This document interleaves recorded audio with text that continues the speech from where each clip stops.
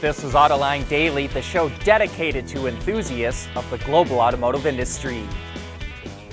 Big EV news for Jeep today. It says it will have 4xE, or plug-in hybrid versions, of all of its models by 2025, and it will have a fully electric lineup by 2030, which includes Europe. Its first all-new BEV model will be a small crossover for Europe called the Avenger that launches early next year. Its styling is similar to the Compass, but it's actually smaller than a Renegade. Jeep is targeting a 400 kilometer or roughly 250 mile range, and the Avenger will be built at Stellantis' plant in Poland. And while the Avenger will be offered in other markets like Japan and South Korea, it will not be offered in the US because Jeep says the segment for a vehicle like this doesn't exist in the US. But the midsize segment is growing in the US, and that's where Jeep will enter the EV market in America. One of those vehicles is the Recon, a four door SUV that takes inspiration from the Wrangler, like its removable doors and roof panels. The same design group that handles the Wrangler also designed the Recon, but even though there are similarities, Jeep insists it's not an EV replacement for the Wrangler. Around the same time, Jeep will expand its Wagoneer lineup with a BEV that is currently codenamed Wagoneer S. And like the Recon, it's a midsize, not a full size.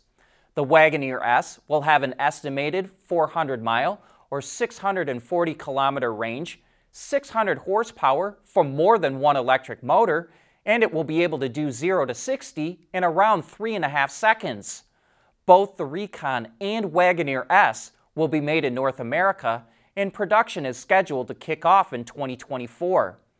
Jeep has more than doubled its sales in the last 10 years, and all of these new BEVs announced are new categories for the brand, not just nameplates that it's converted to electric. So we expect its sales growth to continue. And speaking of new EVs, Ford revealed details about the E-Transit custom van for Europe. It comes exclusively with a 400 volt, 74 kilowatt hour battery pack that uses the same pouch cells as the F-150 Lightning. Depending on the setup, the E-Transit Custom will be able to go up to 380 kilometers or 236 miles on a single charge.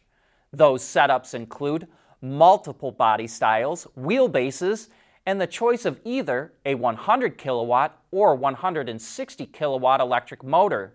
The more powerful version allows owners to tow up to 2,000 kilograms or carry a payload of 1,100. Production of the E-Transit Custom starts in Turkey in autumn of 2023. We want to know what drives your testing. OTA, connected car, diagnostics, remote testing. Intrepid Control Systems is here to help you work from anywhere. Intrepid Control Systems, driven by your data.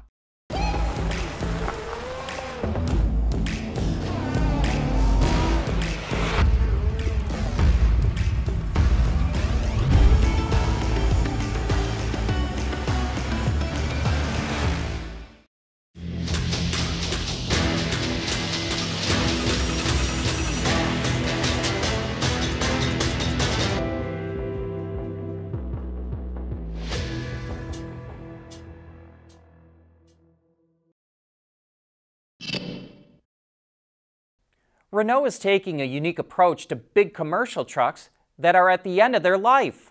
Rather than sending them to the crusher, it's recycling the trucks and reusing their spare parts. It created a dedicated plant where old trucks will be dismantled and the good parts will be identified. Bad parts will be recycled while the good ones are cleaned and are sent back to the spare parts store to be sold. Renault says the parts are covered by a manufacturer's warranty and will cost 50 to 60% less than new parts. The BMW Group is going vegan. Starting next year, fully vegan interiors will be offered in both BMW and Mini vehicles. The company already offers fabric alternatives to leather, but it says it developed a new bio based material for steering wheels that meets its criteria for appearance, wear resistance, and durability. BMW says the new material reduces CO2e emissions by up to 85% along the value chain compared to leather. The supplier Magna announced it's partnering with Cartken, an autonomous robot company based in San Francisco, to manufacture its Model C delivery pod. Magna is building the autonomous robot at its factory in Michigan, and in the future, it will produce more models built on the same platform for different use cases. The Model C is currently being used for last mile use to deliver items in malls, hotels, universities, and warehouses. Nissan Leaf owners in the U.S. can now send energy back to the grid when plugging in their vehicle. The automaker just approved its first bidirectional charger for use with the Leaf. The charger was developed by vehicle to grid service provider Fermata Energy. Now owners can plug in and charge their vehicle or send energy stored in the battery back to their building or to the grid. Nissan didn't reveal how much the charger costs, but did say it won't impact the Leaf's battery warranty. There are a few key reasons to start a business in Michigan. First of all, it's the talent. Second, Michigan is wired for winning. Third, the ecosystem here is really focused on supporting businesses in the market.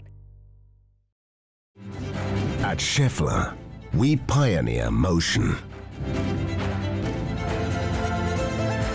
Electrifying mobility, manufacturing smarter, reducing CO2 emissions, making energy production clean.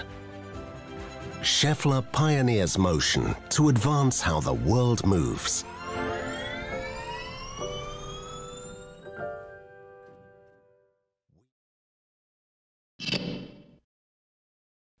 RoboTire is a startup in Plymouth, Michigan that's developing robots for tire changes. The robots can also mount tires on wheels and balance them too. In fact, RoboTire claims its robots can mount, balance, and install four tires in 25 minutes. That's faster than most techs. And the robots can do it all day long. They can easily lift the 150 pound tires that come off a Hummer H1.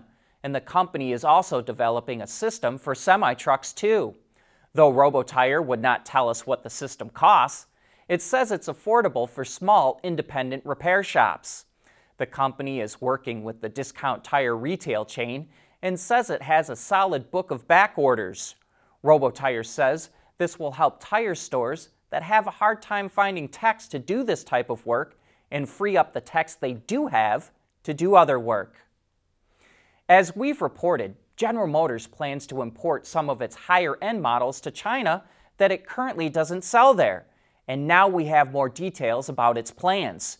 It will be a direct to consumer sales channel aimed at luxury buyers called Durant Guild, named after the company's founder, William Durant. It will host invitation only events and open experience centers in urban areas. GM didn't say exactly which vehicles it plans to make available, but it's putting the GMC Hummer EV and Yukon and Chevrolet Tahoe, Silverado, and Corvette on display at upcoming events. The company acknowledges it won't sell vehicles in large volumes with the new platform, but it hopes it will generate excitement around its other brands in China, which have seen sales drop by a third over the past five years. Are legacy automakers starting to make inroads in the EV segment? That's going to be the topic on today's Autoline After Hours. Doug Betts, the president of automotive at JD Power, will be on the show. He says buyer consideration for EVs from legacy automakers is going up fast. How fast and how much? We want to know, and we invite you to join us this afternoon at 3 p.m. Eastern Time on our website or YouTube channel. That's it for today. Thank you for joining us.